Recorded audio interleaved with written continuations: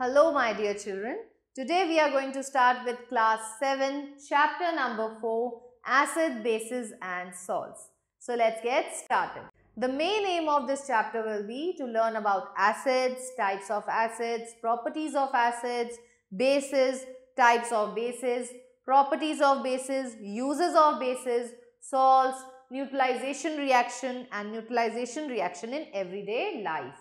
Have a look on warm-up children. We have studied about different components of food in previous class. Now fill in the missing information to complete the table given below. Now lemon juice. अगर आप lemon juice को taste करो तो आपको कैसा taste मिलता है इसका It is sour in taste. Similarly curd भी sour ही होती है Baking soda. Baking soda is bitter in taste. Amla. Amla is sour in taste. Tamarind. Imli. Imli भी तो खट्टी होती है Orange juice. Again, it is little sour in taste. Dates. Dates sweet होते हैं. टूथपेस्ट टूथपेस्ट कैसी होती है? बिटर होती है टेस्ट में. And vinegar again it is sour in taste now acids children आपने लेमन खाया होगा, नींबू, कभी आपने नींबू का जूस पिया है? कैसा होता है? बहुत ही खट्टा होता है. तो वो खट्टा क्यों होता है? क्योंकि उसके अंदर ऑर्गेनिक एसिड प्रेजेंट होता है. तो anything which is sour is acid हाँ ज़रूरी बात नहीं है कि सब चीज़ें जो खट्टी हैं उसमें एसिड हो, लेकिन ज़्यादातर चीज़ों में एसिड प्रेजेंट होता है चाहे आप दही देख लो लेमन जूस देख लो ऑरेंज जूस देख लो, या इवन योर इमली they all have acid in them लेकिन ये कैसे एसिड्स हैं ये ऑर्गेनिक एसिड्स हैं जिनको हम खा सकते हैं These substances contain acids which give them sour taste. The word acids come from Latin term acidus, which means sour.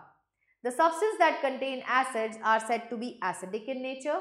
All sour fruits are acidic in nature. Different things contain different type of acids. तो अब acids भी बच्चों different different type के हो सकते हैं. Acids can be commonly grouped as organic acid and inorganic acid किस source से हमें मिल रहे हैं उसके बेसिस पे हमने एसिड्स को दो कैटेगरीज में डाला organic acids and inorganic acid तो organic acid as the name indicate हमें नेचर से मिल रहे हैं। और ये वाले वो एसिड्स हैं जिनको हम कंज्यूम भी कर सकते हैं। जैसे सिट्रिक एसिड है लैक्टिक एसिड है, जो कि कर्ड में मिल रहा है। सिट्रिक एसिड हमें ज़्यादातर सिट्रस फ्रूट्स में मिलता है लाइक ऑरेंजेस और your lemon even tartaric acid tamarind में हमें मिल जाता है टाट्रिक एसिड है ना? तो ये वाले एसिड्स जो है, इन्हें हम कंज्यूम कर सकते हैं। ये वीक एसिड्स होते हैं। All acids contain carbon and hydrogen atom तो जो भी एसिड्स होते हैं, उसमें हाइड्रोजन एटम होना बहुत ज़रूरी है। ये वही होते हैं जो हाइड्रोजन आयंस को लिबरेट करते हैं वाटर में, तभी हम इनको एसिड्स बुला पाते हैं। So acids are the substances which liberate H positive ions when dissolved in water. Some common examples of organic acids are lactic acid, acetic acid, formic acid, citric acid, oxalic acid and uric acid. Organic acids are weak acids ये जो है ये सारे के सारे week acids होते हैं। जब हम इन्हें वाटर में डिसॉल्व करते हैं तो ये बहुत धीरे धीरे अपना एच पॉजिटिव आयन जो है वो रिलीज़ करते हैं। इसीलिए इन्हें हम वीक एसिड्स बोलते हैं।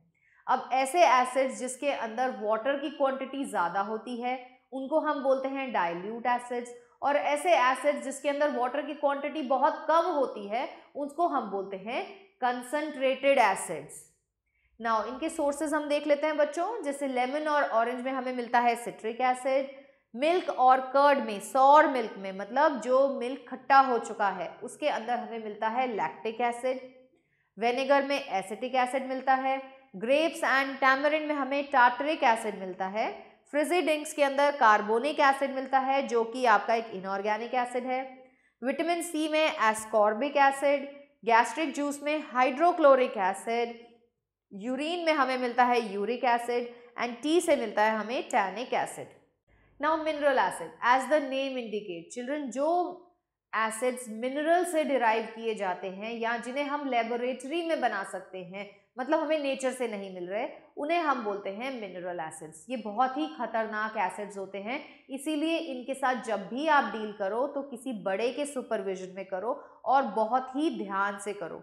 इनके अंदर मेनली जो एसिड्स इंक्लूड होते हैं, वो होते हैं sulphuric acid hydrochloric acid nitric acid तो ये वो है mineral acids contain at least one hydrogen atom and no carbon atom इनके अंदर भी आप देख सकते हो हाइड्रोजन एटम प्रेजेंट है और ये भी पानी में जाके हाइड्रोजन आयंस लिबरेट करते हैं, इसीलिए ये भी एसिड्स है।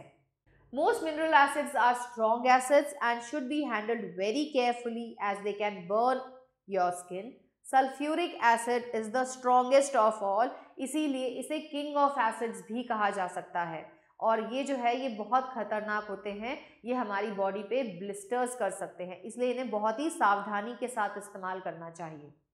Properties of acids children properties में हम देखते हैं कि ये सॉरिन टेस्ट हैं। जैसे हमने बात करी, दूसरा एच पॉजिटिव आयंस लिबरेट करेंगे वाटर में और ये ब्लू लिटमस के साथ हमेशा रेड कलर देंगे। तो एसिड्स की बहुत अच्छी पहचान होती है कि ये ब्लू लिटमस के साथ हमेशा रेड कलर देते हैं।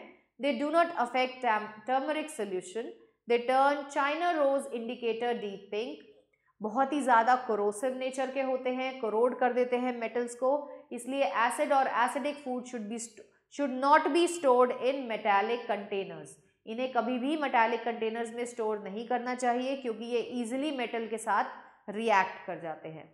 इवन क is better kept in clay pots paper cups और superior stainless steel utensils the chemical properties of acids क्या क्या है इनकी? सबसे पहले रिएक्शन विद मेटल जब भी एक वीक एसिड मतलब डाइल्यूट एसिड लेंगे हम डाइल्यूट एसिड जब भी मेटल के साथ रिएक्ट करेगा it result in the liberation of hydrogen and formation of salt तो हमेशा एक सॉल्ट बनेगा और हाइड्रोजन गैस जो है वो लिबरेट आउट हो जाएगी।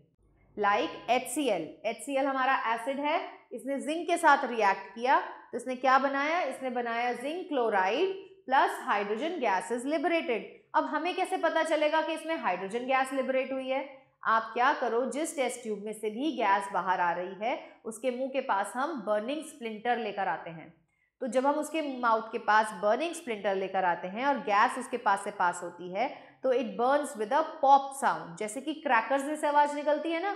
बिल्कुल वैसे ही आवाज़ निकलती है। इससे हमें पता चल जाता है कि जो गैस निकल रही है, वो हाइड्रोजन गैस है। Now acids reacts with base कोई भी स्ट्रॉन्ग एसिड अगर स्ट्रॉन्ग बेस के साथ रिएक्ट करता है it result in the formation of salt plus water and this is only called as the neutralisation reaction जो कि बहुत इंपॉर्टेंट है। इसके बारे में हम डिटेल में पढ़ेंगे इसी चैप्टर में। Aqua regia is used to dissolve gold, silver and platinum metal. It is used in refining precious metals. Now activity. Take about 10 ml of dilute sodium hydroxide solution in a test tube. Add a drop of methyl orange to it. The solution will turn yellow. क्यों हुआ turn? क्योंकि यहाँ पर base ने methyl orange के साथ yellow colour liberate किया using a dropper add a little Dilute hydrochloric acid to the test tube drop by drop while stirring. A stage is reached when an additional drop of acid turns color of the solution from yellow to pink. This indicates that sodium hydroxide has reacted with the acid and the solution contains a little amount of acid जिसकी वजह से जो colour है वो change हो गया stop adding more acid touch the test tube immediately after the reaction is it warm बिल्कुल warm हो जाएगी, क्योंकि हीट भी लिबरेट होती है।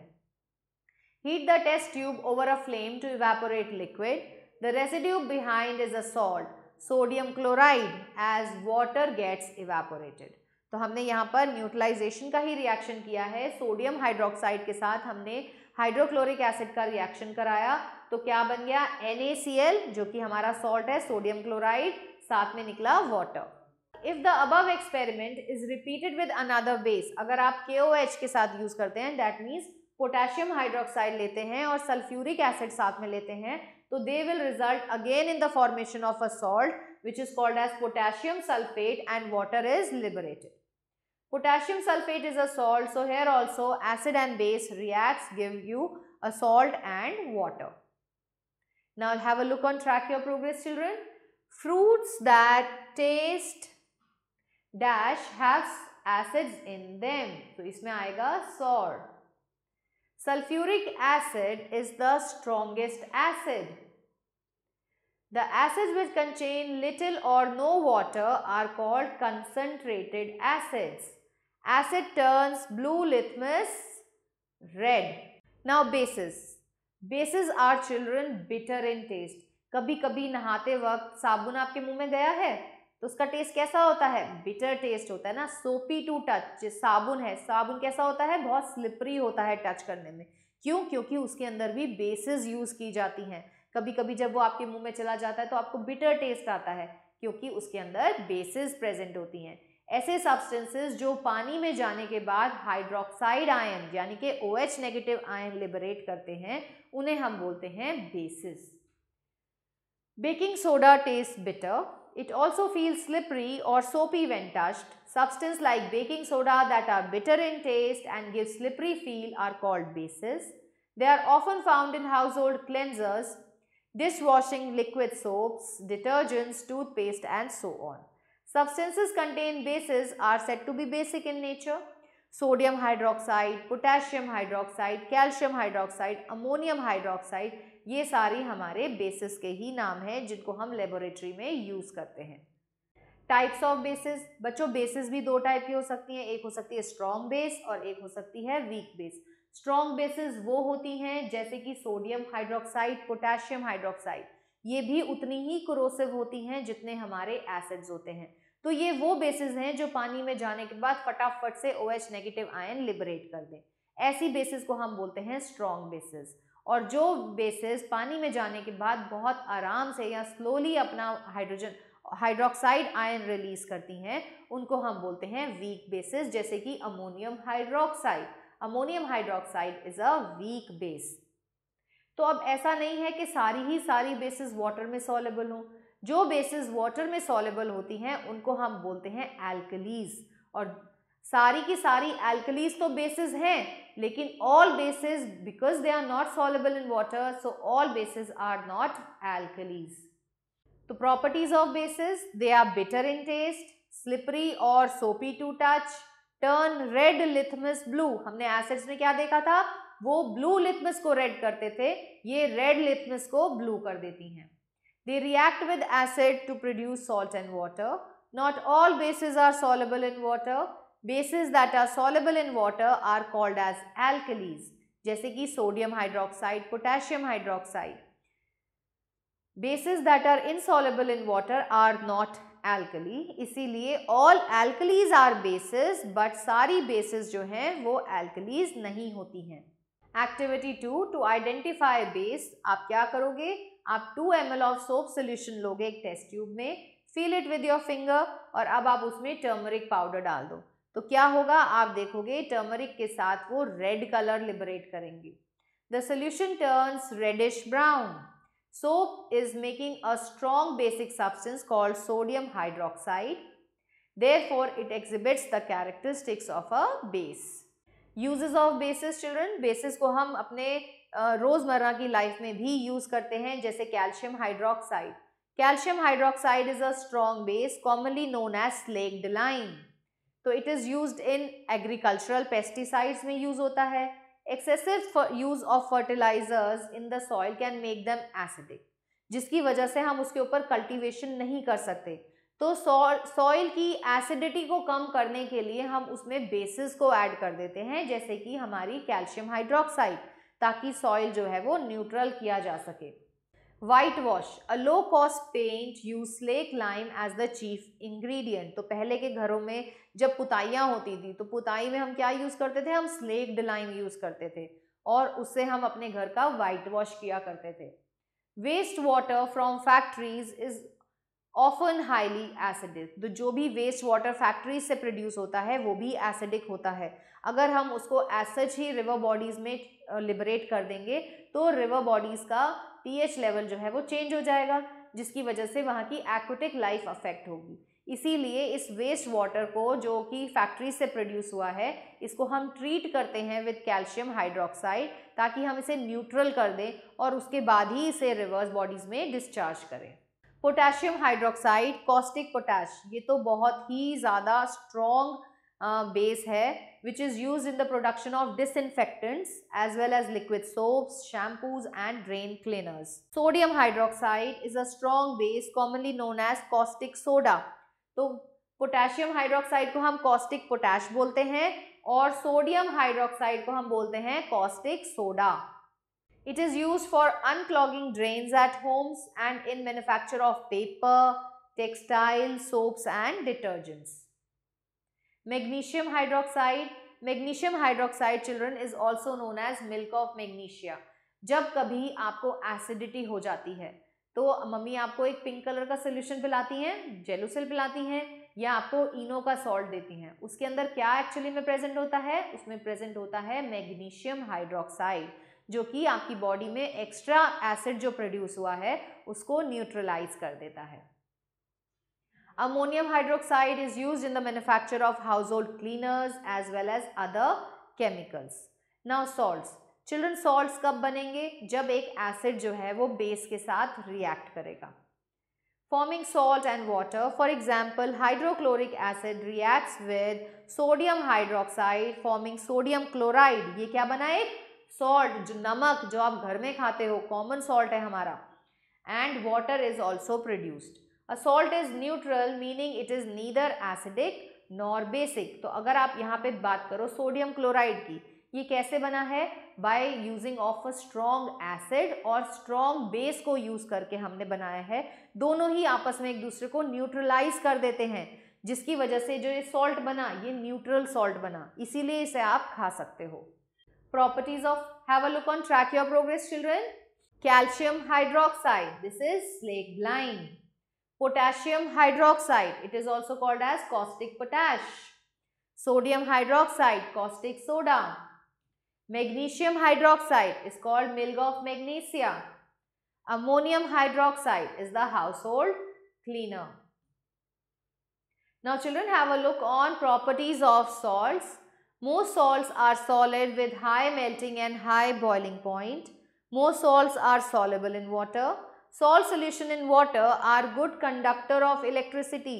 इसीलिए हम इसको इलेक्ट्रोलिसिस में भी यूज़ करते हैं फॉर्मेशन ऑफ़ सॉल्ट चिल्ड्रन अब तीन टाइप के सॉल्ट्स हमारे बनते हैं पहला है न्यूट्रल सॉल्ट न्यूट्रल सॉल्ट कब बनेगा जब एक स्ट्रॉन्ग एसिड स्ट्रॉन्ग बेस के साथ रिएक्ट करेगी अगर हमने वीक एसिड लिया है और स्ट्रॉन्ग बेस ली है तो हमारी जो सॉल्ट बनेगी, वो बनेगी बेसिक सॉल्ट एंड जब हमने स्ट्रॉन्ग एसिड और वीक बेस को यूज़ किया है तो हमारा जो सॉल्ट बनेगा, वो बनेगा acidic salt now neutralisation reaction neutralisation reaction is a reaction in which acid reacts with base a strong acid reacts with a strong base to form salt which is neutral and water is liberated Therefore, we can say that neutralization is a reaction between acid and a base to form salt and water accompanied with the evolution of heat.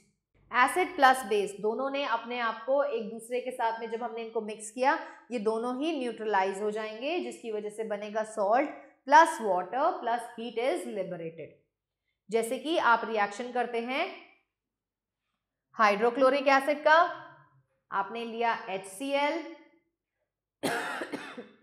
You took HCl और इसके साथ आपने reaction करा दिया NaOH sodium hydroxide का। So what will it form it will form NaCl plus H2O plus heat is liberated pH scale of some acids and bases children pH एक ऐसा scale है जो हमें बताता है कि कोई सब्सटेंस कितना एसिडिक है और कितना बेसिक है। तो अगर हम बात करें तो seven P H seven is the P H of neutral ये है हमारे वाटर का पीएच डिस्टिल्ड वाटर का पीएच इसीलिए पानी को हम पी सकते हैं क्योंकि वो न्यूट्रल होता है. सेवन के नीचे अगर हम जाते हैं फ्रॉम सेवन टू ज़ीरो तो यहाँ हम बढ़ते हैं एसिडिटी की तरफ़.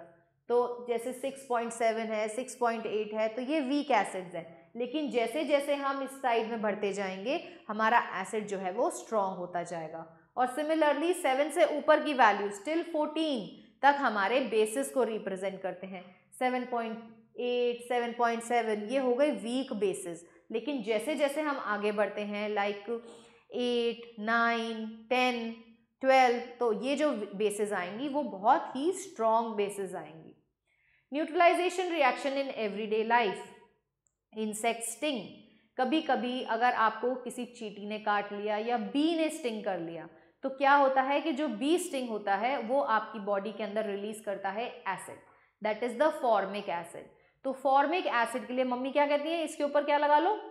इसके ऊपर लगाओ लोहे की चाबी। नहीं, हमें क्या करना है? हमें उसे वॉश करना होता है विथ सोप सोल्यूशन क्यों? क्योंकि एंट स्टिंग में या बी स्टिंग में एक एसिड रिलीज़ हुआ हमारी बॉडी में फॉर्मिक एसिड अगर हम इसे न्यूट्रल कर दें, कोई बेस अप्लाई करके, जैसे कि इसके ऊपर बेकिंग सोडा लगा दें या इसके ऊपर सोप लगा दें तो क्या होगा? न्यूट्रलाइजेशन रिएक्शन हो जाएगा, सॉल्ट बन जाएगा और वाटर बन जाएगा और हमें रिलीफ मिल जाएगा। लेकिन अगर हमें कोई वैस्ट काट जाए, वेस्ट स्टिंग के अंदर क्या होता है बच्चों? वो उस, वो हमारी बॉडी में बेस रिलीज़ करता है, तब हमें यूज़ करना चाहिए vinegar for the effective relief. Acidity, अभी जैसे हमने बात करी कि अगर हमारी बॉडी में एक्सेस हाइड्रोक्लोरिक एसिड बन जाता है तो हमें एसिडिटी हो जाती है। तो इस केस में हमें क्या लेना चाहिए? हमें लेना चाहिए milk of magnesia that is magnesium hydroxide ये हमें टैबलेट फॉर्म में मिल जाता है या सोल्यूशन फॉर्म में भी मिल जाता है। जो, और जब हम इसको लेते हैं तो इस एसिड को ये न्यूट्रलाइज कर देता है और हमें एसिडिटी से रिलीफ मिल जाता है। Excess hydrochloric acid in the stomach can cause indigestion and is painful to treat such indigestion cause by acidity antacid tablet such as milk of magnesia are use to neutralise the excess acid preventing tooth decay children जब आप खाना खाते हैं तो आपके mouth में you all know they are bacteria present होते हैं। ये बैक्टीरिया क्या करते हैं? ये आपके लेफ़्ट ओवर फ़ूड को, जो कि फ़ूड आपके दांतों से चिपका होता है, उसको खाते हैं।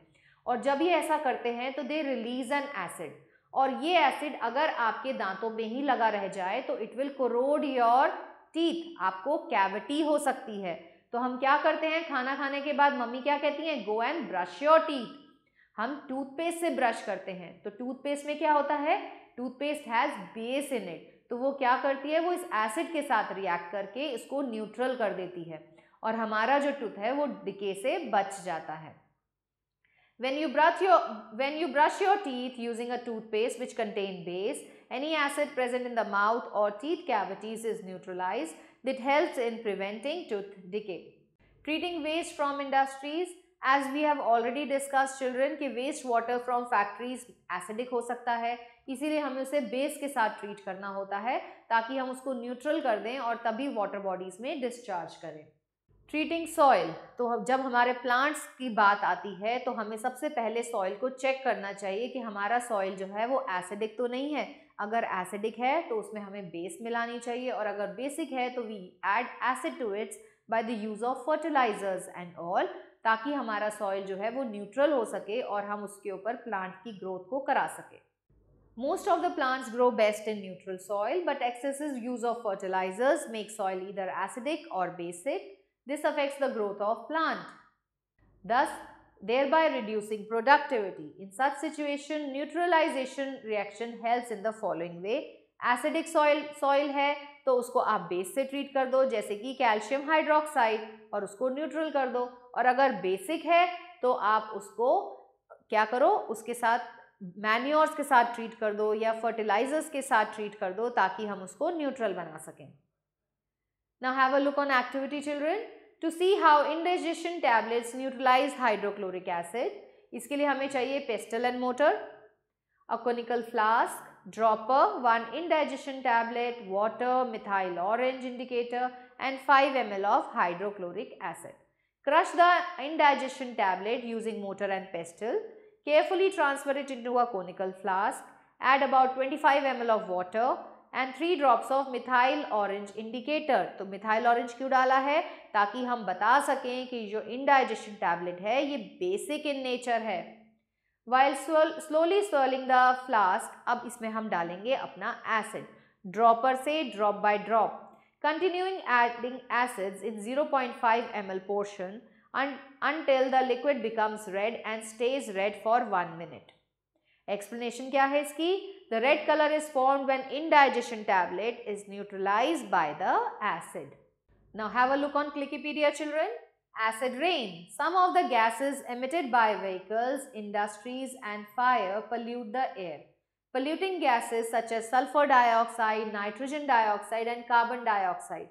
ये हमारे एटमॉस्फेयर में पहुंच जाते हैं और वहाँ पर जब रेन होती है तो ये पानी के साथ डिजोल्व करके एसिड बना लेते हैं वीक एसिड बना लेते हैं जो कि वॉश डाउन हो जाता है अर्थ पे अब ये वाला जो एसिड है ये प्लांट्स पे गिरता है एनिमल्स पे गिरता है बिल्डिंग्स पे गिरता है और इनको नुकसान पहुंचाता है to form dilute sulphuric acid nitric acid carbonic acid respectively These acids may come down as rain known as acid rain. Acid rain can damage to crops, soil, animals, buildings. Many of the monuments damaged due to weathering caused by the acid rain in addition to other factors.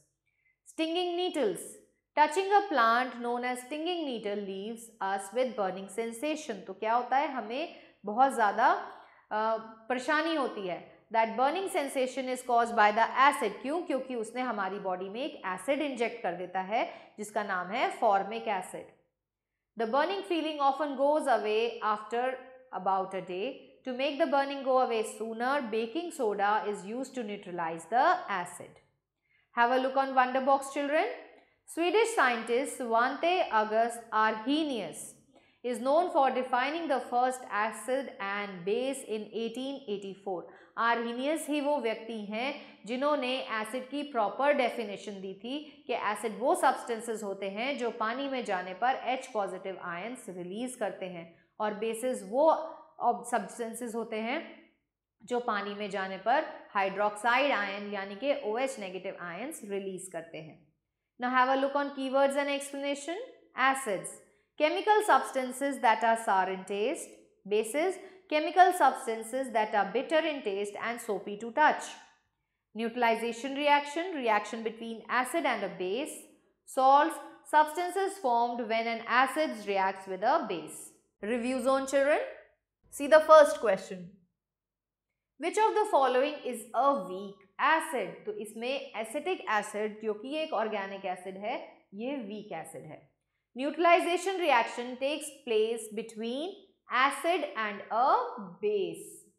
Platinum and gold metal can be dissolved in aqua regia. The acid present in sour curd is lactic acid.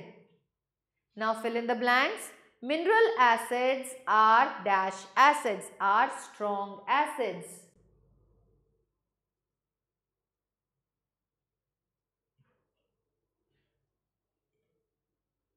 Grapes contain tartaric acid. Tartaric acid while oranges have citric acid. Bases are soapy to touch. The acids such as hydrochloric acid, sulfuric acid, nitric acid are called mineral acids.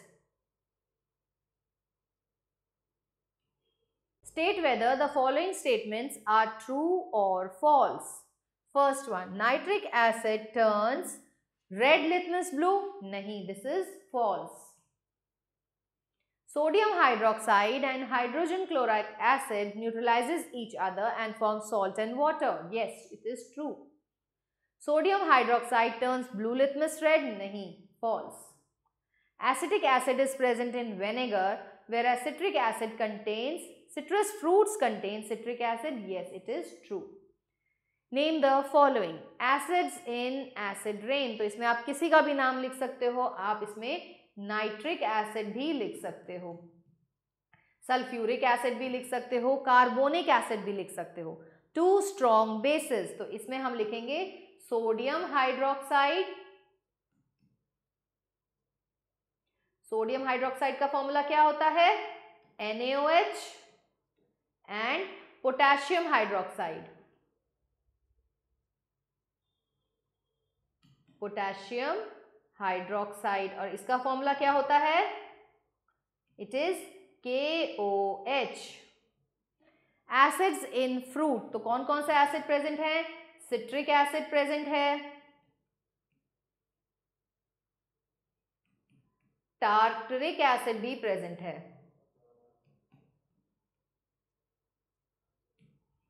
Organic acid children you can write any of the organic acid इसमें आप uric acid भी लिख सकते हो और oxalic acid भी आप इसमें लिख सकते हैं with this we have come to the end of this chapter hope you have understood this chapter nicely children stay tune for the next video till then goodbye